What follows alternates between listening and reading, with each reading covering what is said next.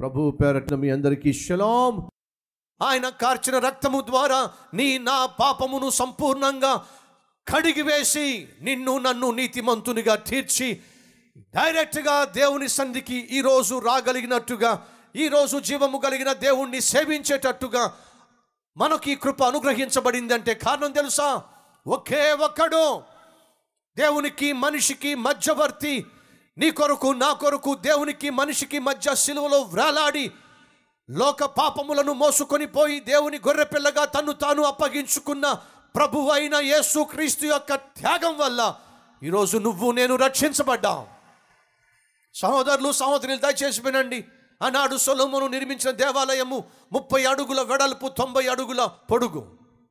అడగచ్చు బ్రదర్ అంత చిన్న మందిరంలో ప్రజలు వెళ్ళ ఎలా వెళ్తారు? వినండి.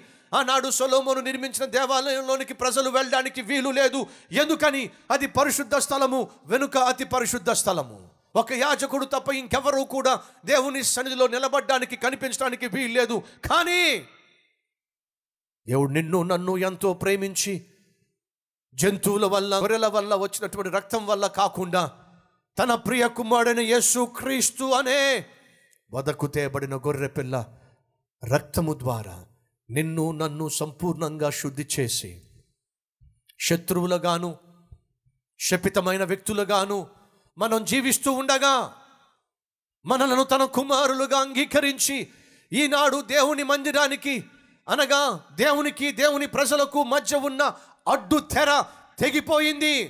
కాబట్టే ధైర్యముగా నేను ఈ అతి పరిశుద్ధ స్థలములో మీరు పరిశుద్ధ స్థలములో జీవము కలిగిన దేవుణ్ణి పరిశుద్ధ మందిరములో ఆరాధించే మహాభాగ్యము ప్రభు యేసుక్రీస్తు వల్ల సాధ్యమైంది. ఆనాడు ఈ అవకాశము ఈ మహాభాగ్యము ఇస్రాయేలులో కూడా లేదండి.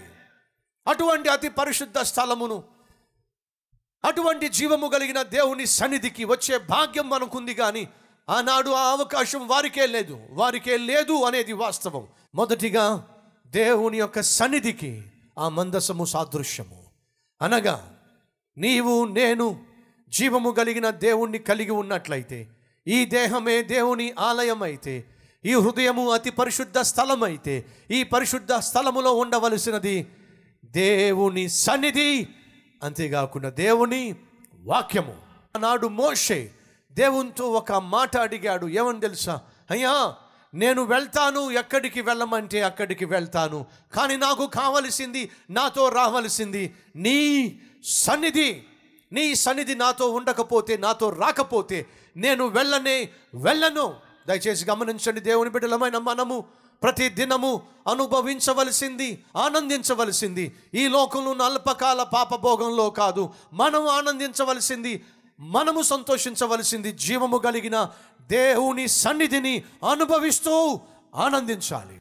నా ప్రియ సహోదరుడ సహోదరి నువ్వు జీవము కలిగిన దేవుణ్ణి దేవుని ఆశీర్వాదాన్ని దేవుని సన్నిధిని ఆయన యొక్క సమృద్ధిని వెతికేటటువంటి క్రైస్తవుడు అయితే ప్రతి ఉదయము ప్రతి సాయంత్రము నీ ఇంటిలోనే దేవుని సన్నిధిని నువ్వు అనుభవించాలి. నుంచి నా దేవుణ్ణి కలిగి ఆయన సన్నిధిని కలిగి ఇంట ఇంట బయట ప్రభు కొరకు సాక్షిగా జీవించాలని ఆశిస్తున్నాను నా కోసం ప్రార్థన చేయండి అన్నవారు ఉన్నట్లయితే మీ హస్తాన్ని ప్రభువుకు చూపిస్తారా?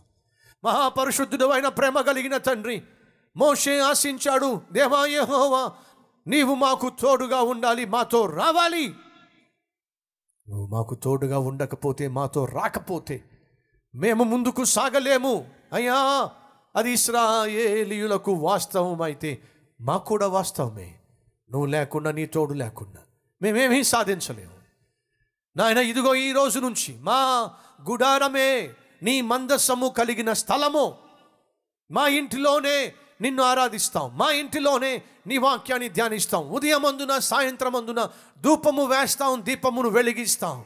నీ సన్నిధిని కలిగి కుటుంబ ప్రార్థన కలిగి నిన్ను మహిమపరుస్తాం. తండ్రి అట్టి కృప అట్టి భాగ్యము ప్రతి కుటుంబములో అనుగ్రహించవలసిందిగా కోరుతూ ఇంటిలో ఉన్నా ఇంట బయట ఉన్నా ఉద్యోగం చేస్తున్నా వ్యాపారం చేస్తున్నా నాయనా నీ సన్నిధిని కలిగి నీ బిడ్డలుగా జీవించే భాగ్యమును దయచేయమని. యేసు పరిశుద్ధ నామం పేరట వేడుకుంటున్నాము తండ్రి. ఆమెన్.